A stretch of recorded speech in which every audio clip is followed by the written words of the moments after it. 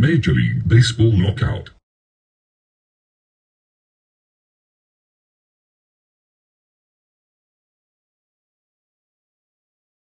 Major League Baseball not lockout.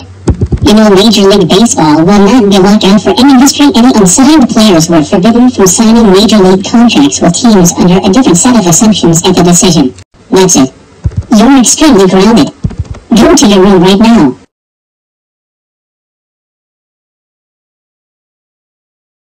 Yeah.